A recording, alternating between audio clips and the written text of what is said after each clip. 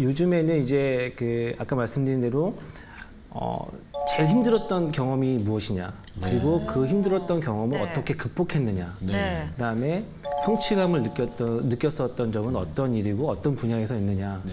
그다음에 요즘에 좀 이제 또 많은 면접관들이 질문하시는 게 아무래도 저희는 이제 기수직이 많은 그 어, 공공기관인데 네. 그, 기, 그 공학을 전공했다고 하더라도 인문학적 소양을 어떤 식으로 개발하고 준비했느냐 네. 사실 그런 부분도 많이 아, 물어보고 지금 있어요. 쓰리를 말씀해 주시면 한번 뭐 다 저희가 네. 면접 한번 해보죠 뭐. 어, 자, 이분들이 그 과정, 겉함이 과정을 통과했던 분들이기 때문에 아마 잘 하셨을 것 같은데요. 이 질문을 혹시 먼저 받아본 적이 있는 분?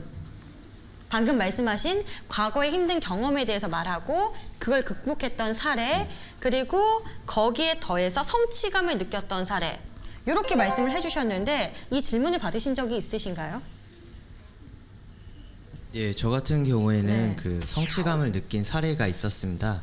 그 저는 그래서 답변하기로는 제가 그전 기업에 있었을 때 제가 했던 경험을 말씀을 드렸는데 해당 경험은 이제 해외에서 저희가 공장을 건설하고 해당 사업이 어떤 식으로 진행될 건지에 대한 재무 타당성을 분석했었습니다. 네. 해당 업무는 제가 기존에 많은 공부를 못했었지만 따로 이제 공부하고 어, 전문가들을 찾아뵙고 하는 과정을 거쳐서 그렇게 일을 끝까지 완료했던 경험을 면접 때 어, 답변했었습니다.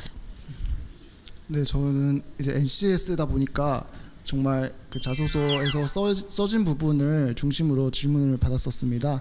그래서 저는 인턴 경험에서 이제 인턴 경험 힘든 점이 있었나 이런 거 아니면은 어 이- 제가 인턴에서 이제 실험실에서 근무를 했었는데요.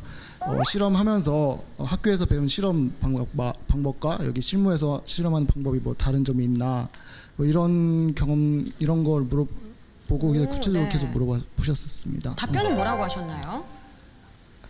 아, 저 제가 느낀 대로 이제 제가 생각했던 것대로 이제 바- 대답을 했었는데요.